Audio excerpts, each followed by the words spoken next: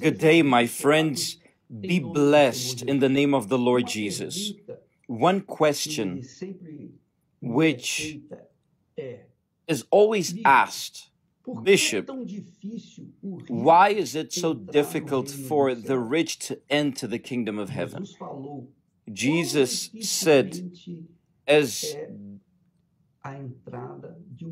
he spoke about how difficult it is for a rich to enter the kingdom of heaven. Why? Because he's rich. So is it difficult for him? Why is it difficult for the rich to be saved, his soul to be saved? In the scripture we will begin to study today, Jesus deals with this subject with a certain detail, partic- particularity that he mentioned, certain details which make the difference. Because he speaks about the rich and he speaks about the poor or the miserable.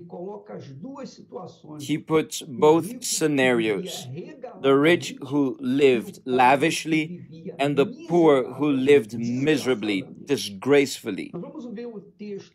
We will read the scripture now and we will analyze in order to answer the question which we mentioned. Let's understand now.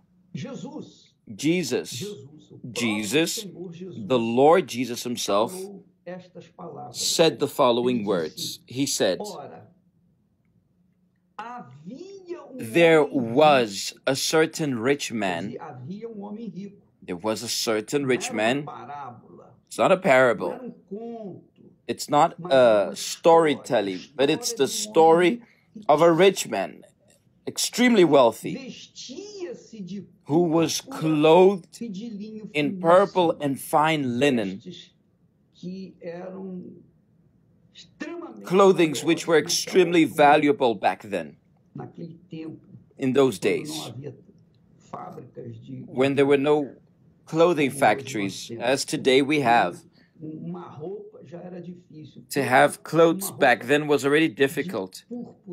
But to have a purple and fine linen clothing, only the, the extremely wealthy, the filthy rich, had this right. This, and not only this, but it says, and fared sumptuously every day, which means he, the rich, is placed in the position, in a top position before society. And also, he puts the poor in the lowest position in society. When he says, but there was not only the rich man, which means there was not only the rich, but there was a certain beggar, which is the smallest, the least situation a human being can be in, the lowest. But there was a certain beggar named Lazarus. This is extremely important, my friends. The rich man,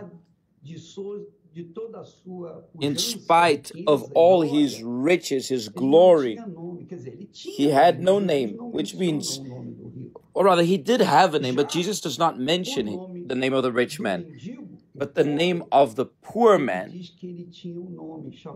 He mentions his name, Lazarus. As a matter of fact, Jesus called him Lazarus. He has a name, he had a name. This identifies that this story was not a fairy tale. It was a fact. It took place indeed.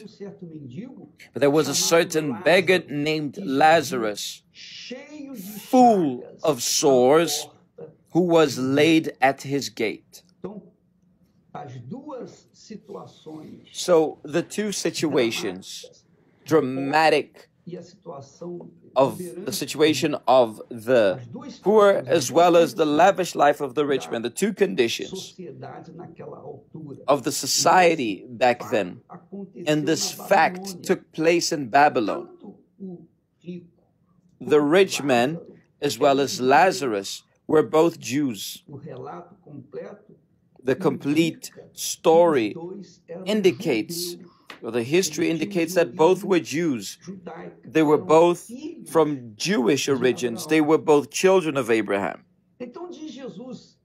So Jesus mentions that the poor, the miserable, the beggar, desiring to be fed with the crumbs which fell from the rich man's table. He desired.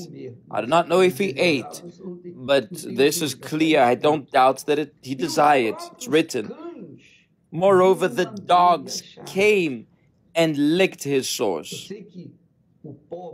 I know that the poor, at the gate of the rich man, he expected that at least the remainder from the rich man's table would also reach him. This is why he was there at the rich man's gate. And his situation was so miserable, so miserable, that the dogs came and licked his sores. Let's continue reading. So it was, look, Jesus said, so it, ha- it was, Jesus guarantees that it took place. So it was that the beggar died and was carried by the angels to Abraham's bosom. So Lazarus died and went straight to Abraham's bosom, which means he went to where Abraham was. Abraham, God's friend, obviously,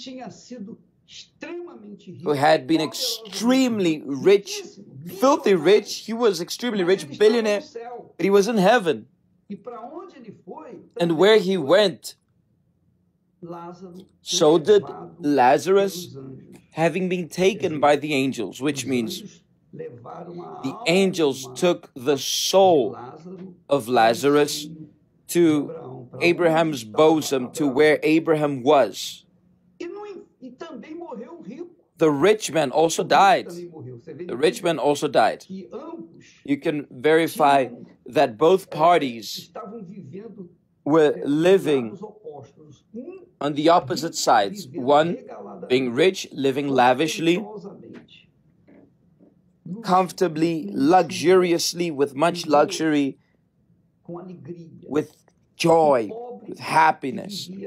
The poor man who lived in hunger, in misery at the gates of the rich man. Two extreme situations. So when they died, the poor man and the rich, they equalized. So now there was no more rich or poor. There was no billionaire nor miserable, extremely miserable. Both, all go down to the graveyard. And death equalizes all the rich, the poor, the whites, the blacks, beautiful, ugly, fat, skinny, good and evil, all die. So death equalizes everybody. Jesus is showing this here that both died. However, the poor man died and was taken, his soul was taken, transported by the angels to where Abraham was, Isaac and Israel. But the rich man also died, and Jesus does not say anything about the angels who came to take him to hell. No, neither to hell, neither to heaven, neither to hell. He simply says the rich man also died and was buried. Obviously, when he was buried, there was that lavish ceremony. And people saying, Oh, he was such a good man, such a wonderful man. After a person dies, everybody's good. Is it not so? Very well. No one says that the dead man was a criminal, he was this and that. When everybody, a person dies, everybody wants to speak well about him as if this changed anything. But Jesus says, the rich man also died and was buried. And then there's a detail. In hell, and in hell, and being in torments in Hades, he lifted up his eyes. Which means when the rich man died, he went straight to hell. And there in hell, he lifted up his eyes. He saw. So the soul has eyes to see. The soul has eyes to see. To see. Because there in hell, the rich man saw. He lifted up his eyes and saw, and being in torments in Hades, he lifted up his eyes and saw Abraham afar off and Lazarus in his bosom. This is important for us to observe. Every word in the Bible is extremely important for us to meditate and think. Because Jesus is speaking about two people, two characters who formed part of history, who went through humanity. One was the rich man, and the other was the poor, miserable. Not just poor. Lazarus was not just poor, not just a bit poor. He was a hundred percent poor, miserable, to the point of apart being poor and miserable, he had sores, which means he was sick, probably leprous. And the dogs came and licked his sores. So when Jesus speaks about death, death came to equalize the situation of both parties, the rich and the poor. The poor, the poor man Lazarus, Jesus mentioned his name. He says that Lazarus, Jesus did not say the name of the rich man because it made no difference, but the poor, because he was a separated person from the rich, he had something extraordinary with himself. He had merits before God, he had faith in God. Therefore, Jesus mentions his name, Lazarus. When Lazarus died, his soul was taken by the angels to Abraham's bosom, specifically where Abraham was. But the rich man, of whom of which Jesus does not mention his name when he died, he was just buried. Although a ceremony was probably done lavishly, it did not matter. Jesus did not even mention the name of the rich man because he no longer had any importance to him. He no longer mattered to the Lord Jesus. This is interesting, isn't it? The rich man no longer mattered because he died and due to his incorrect life, because of his sins, he was taken directly to hell. And there in hell, he had the eyes to see Lazarus in Abraham's bosom. He had the eyes to see. And there's another detail and being in torments, which means he was in hell. He lifted his eyes, but being in torments. So, this is what happens when a person dies in his sins, in his sins and errors. It's not God's will, of course. He sent his son in order for all who believe in him, all who believe in him may be saved, may have salvation, may be like Lazarus after death. But not everyone accepts. Many do not really bother much. They don't believe and they even mock. They even make jokes. They even make jokes with the Lord Jesus Himself. But in the moment of death, in the moment of decision, there will be no jokes. The truth is this the rich man died and he went straight to hell. He went straight to hell. And being in torment. Being in torment. I can imagine, I have an idea, a vague idea of what this hell is.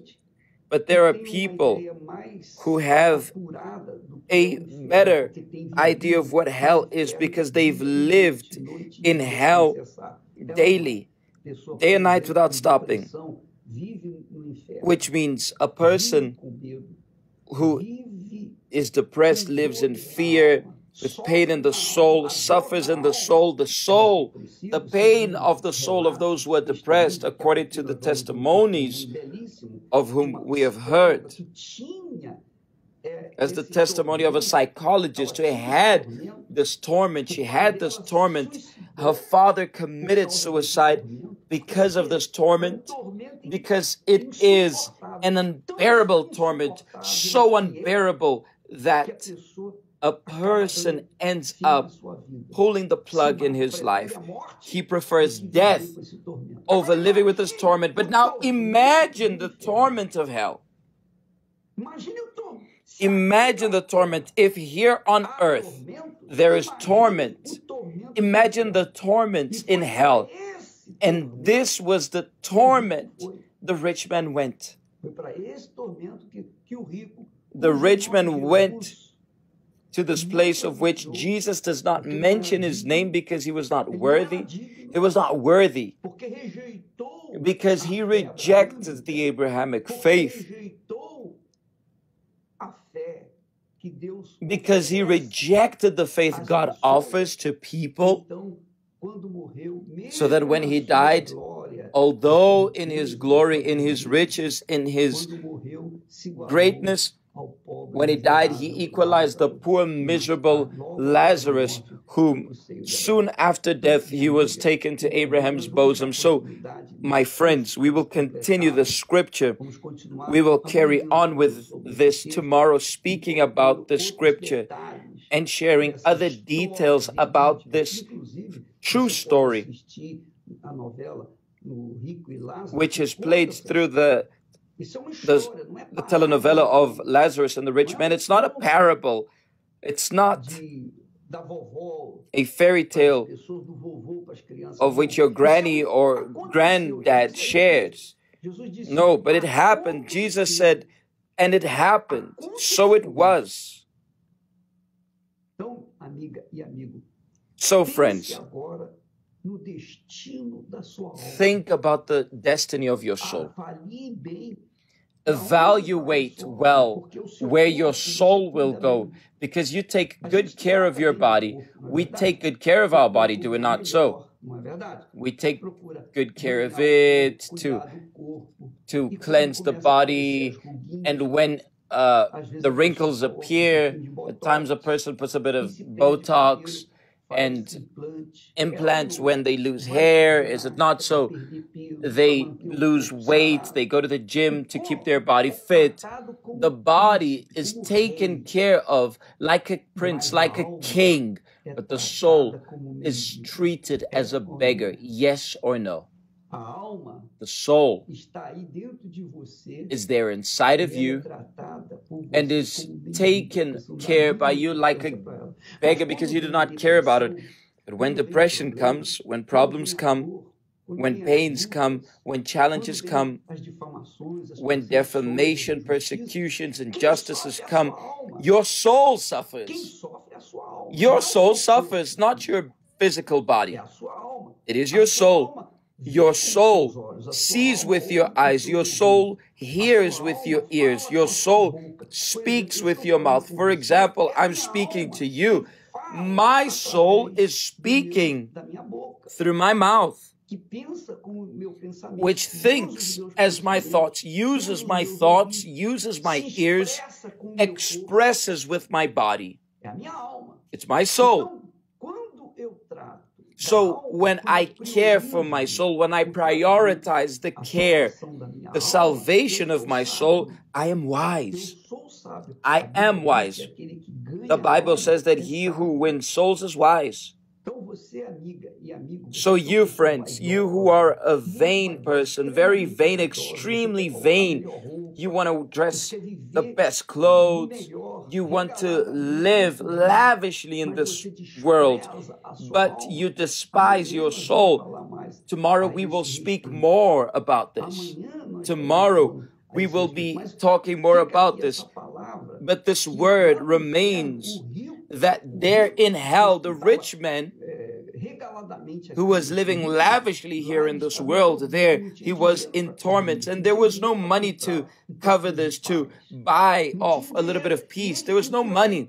And the worst of all, the rich man there in hell, he saw, he saw Lazarus, the one whom he had seen his entire life there at his gate, the gate of his mansion of whom he despised. He saw that man who was miserable there in the same place where Abraham was.